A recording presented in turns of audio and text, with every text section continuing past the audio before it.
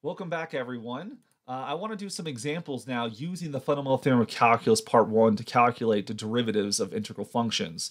Um, we saw in the last video the statement of the fundamental theorem of calculus part one and also its proof. If you missed that, please click the link uh, to, to take a look at it.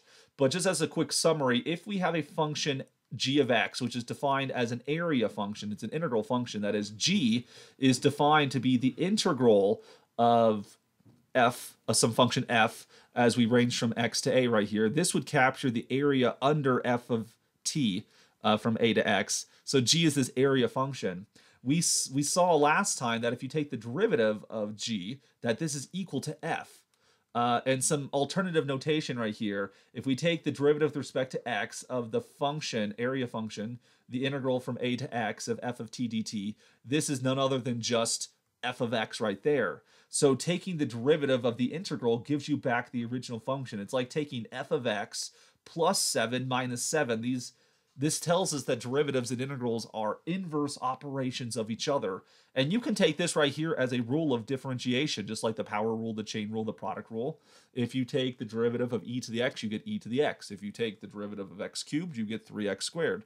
We can accept this as a rule of differentiation that when you take the derivative of an area function, or aka an integral function, uh, you get back the integrand, the original function. So let's see an example of this. You're going to like these exercises. This is pretty nice. Um, if we want to find the derivative of this area function g of x, which is defined as the integral from 0 to x of the square root of 1 plus t squared dt, well, the derivative of g, so g prime, we're going to take the derivative with respect to x of this integral 0 to x square root of 1 plus t squared dt by the fundamental theorem of calculus part 1 or what we might write down as ftc1 by the fundamental theorem of calculus part 1 when you take the derivative of an integral function this will just be the integrand, the square root of 1 plus x squared. Do make sure to switch the variable there. Um, if you typed in a t into like the computer, it would recognize that is incorrect because the variable of g here is x. So as x is changed is what we're trying to measure. Um, and so that's it. By the fundamental theorem of calculus, to calculate this derivative of the integral, we just get back the original function. There's really mu much more to it except for erasing the integral part. And I also want to make mention that when you use the fundamental theorem of calculus part one, two things you should notice. One, there should be a uh, there should be a constant as the lower limit of the integral. What is that constant? It really doesn't matter. 0, negative 17, negative pi, 300,000, 5,280, whatever that constant is, it doesn't really matter, but you do need a constant at the bottom of your uh, integral.